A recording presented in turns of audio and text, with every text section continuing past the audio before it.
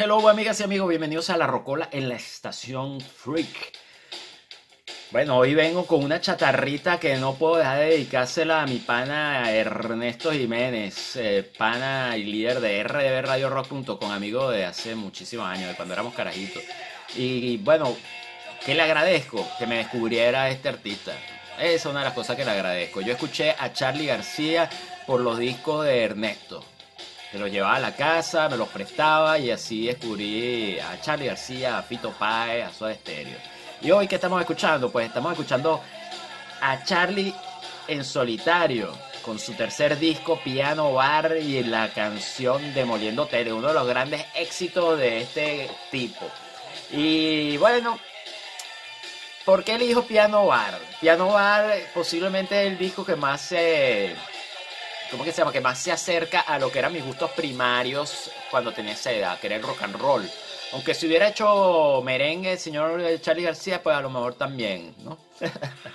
pero no, es el disco más rockero, se puede decir, pero no más rockero. Yo después con el tiempo descubrí que en parte también es el disco como más orgánico que tiene él, ¿no?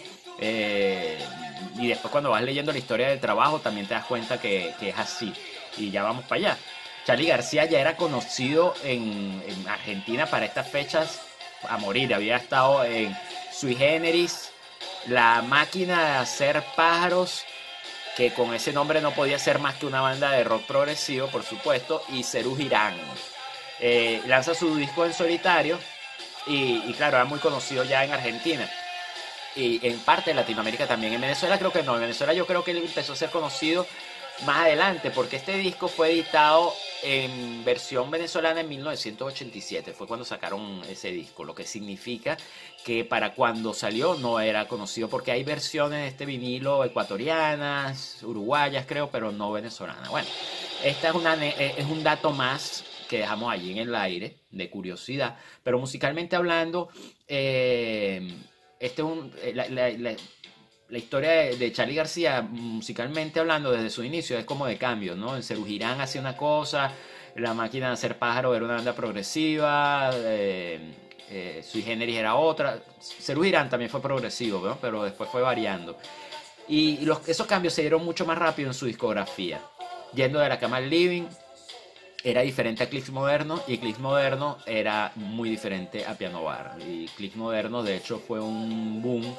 Eh, a muchos fanáticos le costó entender lo que quería hacer Fito Páez con esos temas bailables y con baterías programadas que había hecho, con polirritmias, que era, un, era raro. Sin embargo, la esencia de Fito Páez, eh, perdón, de Charlie García está en las canciones. Hay una cadencia que, que es muy Charlie García, que es como una sonoridad eh, estos temas, sobre todo de tonos medios, que a veces parece un tango. Bueno, que uno no sabe mucho del tango, pero es esa melodía que tiene allí, bueno, una melancolía también. Eh, y, Piano Bar, cuando lees la historia de Piano Bar, te das cuenta, por lo menos yo me di cuenta de que era lo que me había gustado realmente del disco. Y es que esto es un disco, eh, así como Click Moderno, fue un disco que lo hizo todo Charlie García prácticamente. Eh, Piano Bar no es así.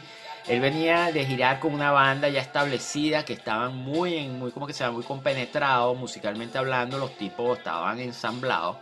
Y cuando graban Piano Bar, prácticamente no ensayan, entran al estudio directamente. Charlie García les contrata el estudio, le dice vamos para el estudio, se meten allí y con muy pocas indicaciones sacan el disco. O sea, que fue un disco, no voy a decir improvisado, pero para allá va, como una llama. Ahí entraron, no salió en una sola toma las canciones, pero son canciones que no tomaron mucho tiempo hacerlas y montarlas. Y, y, Charlie García era como el director de orquesta que iba indicando qué hacer. Aquí mete un solo, aquí mete esto, mete el teclado aquí. Y era todo con gestos, ¿no? Y esto lo puedes ver en YouTube. En YouTube están los videos de cómo se hizo Piano Bar, porque como les sobró tiempo de estudio, terminaron grabando las canciones de nuevo en, en, en, en, en vivo, así en el estudio con la banda. Lo eh, lo primordial de esas canciones que salen en esos videos de YouTube y que vale muchísimo la pena escuchar es porque suenan diferente al disco. Incluso suena más orgánico. Suena más orgánico porque Charlie García agarró este disco, se lo terminó llevando a Estados Unidos y mezclándolo con Joey, Blind, eh, Joey Bliney, que es un tipo con el que ya había trabajado en Click Moderno y terminó trabajando durante un, bastantes años después. O sea, un carajo que está muy metido en la historia de la música de Charlie García, ¿no? Y eh, lo, lo arrecho de eso es que, claro, cuando llegó a, Estados Unidos con, con los trabajos que habían hecho, pues no convencieron a Joe Blaney y terminaron eh, haciendo la mezcla de nuevo.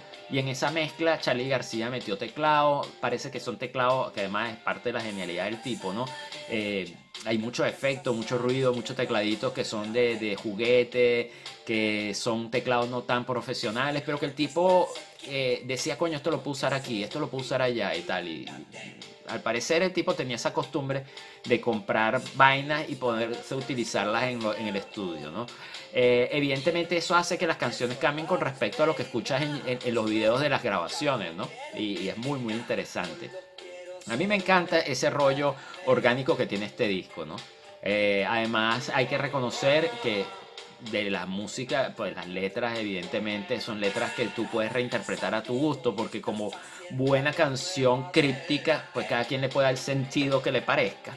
Eso es el gancho.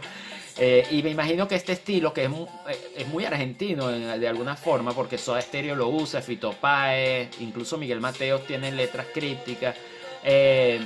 Pero en el caso de Charlie García creo que le viene de la época de la dictadura, donde tenían que enmascarar las cosas que querían decir. Pasaba también en España, incluso en la filmografía de Berlanga y de otros de otros directores y músicos, por supuesto, para poder decir lo que querían decir y para poder saltar la censura tenían que decirlo de manera diferente, ¿no? Y, y- y, bueno, Bob Dylan también con sus canciones, etcétera, etcétera. Eh, eso hace que tú lo reinterpretes, pero lo que sí es cierto es que en la música de este disco hay un desasosiego, hay una rabia contenido y, todo eso refleja realmente en el mundo en el que él ya estaba metido, un mundo donde eh, los excesos estaban pasando factura y terminarían haciéndole un daño tremendo en el futuro, ¿no? Sin embargo, aquí la genialidad lo tapa todo. Incluso hay gente que dice que aquí ya se le empezaba a notar en la forma de cantar que estaba perdiendo voz y tal. Y bueno, leído por, le- leí algo por ahí que decía Joe Blaney que el carajo en una noche de grabación se podía meter una botella de whisky completa y él a eso no le gustaba, pero como las cosas iban fluyendo sin problemas, eh, él lo dejaba hacer, pero que el tipo tenía vicios, evidentemente Charlie García tenía vicios que eran fata que no eran buenos para las voces y evidentemente se notó con el paso de los años. Sin embargo, es indescriptible la genialidad de este, de- de este tipo en estos discos, ¿no? Y, en su carrera eh, anterior, eso hay trabajos brutales que destacar. Yo de este disco, tiene que le diga, a mí me parece una maravilla todo lo que hemos escuchado hasta ahora.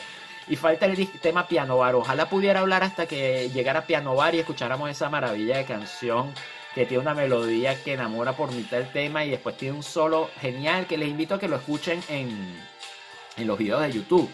El solo que hay en esa canción de- tema Piano Bar en YouTube, eh, claro, es lo que sonaba en crudo. Después está como medio enmascarado por, por teclados y cosas así, pero brutal. Amigas y amigos, me despido mientras suena raros peinados nuevos. Antes sonó Promesa sobre el bidet y con la que abrimos eh, Demoliendo Hoteles. Cuídense mucho, los quiero y nos vemos en una próxima chatarrita. Bye bye.